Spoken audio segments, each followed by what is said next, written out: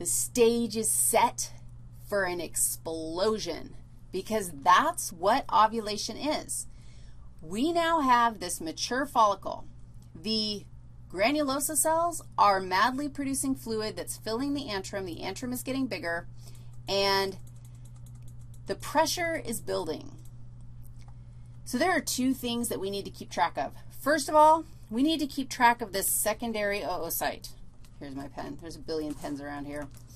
We need to keep track of the secondary oocyte because only unless it gets fertilized is it going to finish meiosis, and actually be an ovum. Only if it gets fertilized. So we got to keep track of that and whether or not we get fertilized. But we also have to keep track of this mature follicle.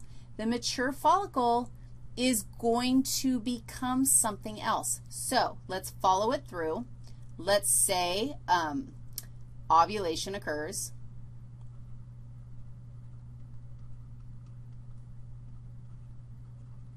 And when ovulation occurs, the explosion happens, and what comes out is actually my secondary oocyte and the zona pellucida, which is around the outer edge. That's not a bad view. And corona radiata. All that stuff comes out with the egg, with the secondary oocyte. So now it's out. Where is it? That's a question we need to answer right now. What happens to my follicle? It's another question we need to answer right now. First of all, you can imagine with all that fluid gone, it exploded. What happens to a balloon when it pops? It totally turns into like a deflated balloon. And that's what this ends up looking like. It ends up looking like, like this is all my deflated balloon part, and these are all the granulosa cells that kind of deflated around it. But you also have the thecal cells that are all deflated around it. And you end up with this thing actually turns into a glandular structure called the corpus luteum.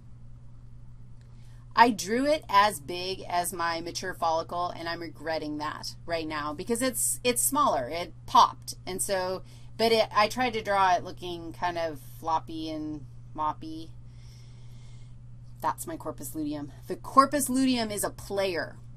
It is, it's going to continue to produce hormones that will keep the baby alive should we make one. Are you interested in making one?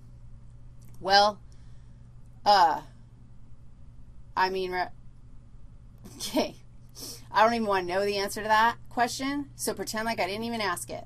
But now what we have to do is go find out what happens to this egg, this secondary oocyte that has now been exploded where?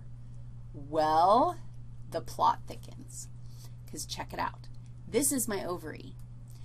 This is a corpus luteum right there. These are like little um, follicles that are growing. When explosion happens, the, the secondary oocyte gets exploded out into your peritoneal cavity. Seriously? Look, there is a space right here. This is your fallopian tube.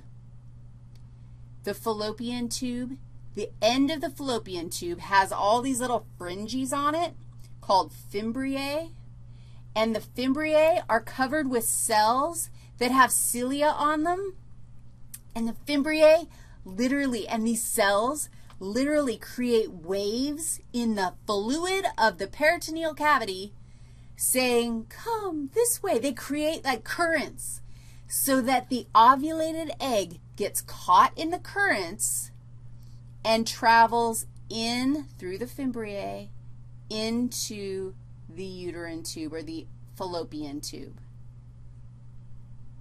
And now the egg is no longer in the secondary oocyte, is no longer in your peritoneal cavity. That would be a disaster. And now it's in the fallopian tube. Look at who the fallopian tube is connected to. Run-na-na-na-na-na. This is the uterus. The uterus, let's just take a minute to say a little something, something about the uterus because that thing, I mean, I've never seen my own uterus, but I've seen a cadaver uterus, one in my life, two maybe. And I'm not kidding you, the uterus is this big. And I'm sorry, it's like the size of a walnut, which is absolutely mind-blowing. Like, come on. Every month you think about the drama that happens because of our uterus, like the, the cramping and the pain and from something that's this big. And then you think, I mean, I know when I was pregnant with my little humans, I felt like my uterus must have been the size of like 32 basketballs. Like, it, like, I was gigantic. I mean, let me just say that again. I was gigantic. And yet the uterus is this size. It definitely stretches when you have a parasite living in there, but it's kind of mind-blowing. So our secondary oocyte is now chilling in the fallopian tubes, and it takes a couple days for something to bounce, the, the oocyte to bounce down the fallopian tubes. I have to tell you something else that's absolutely shocking, and this will lead us into the next section.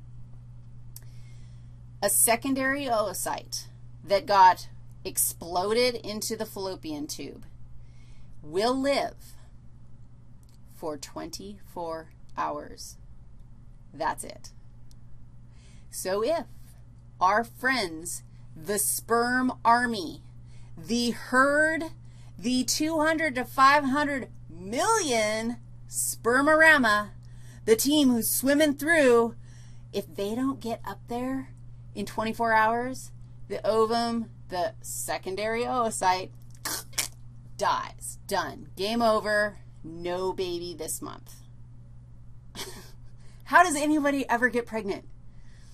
Well, the Fellasperm team has some strategies to uh, assist in this process, so let's talk about that next because we now have a secondary oocyte waiting for sperm. So we better go back to the fellas and figure out how their sperm get out.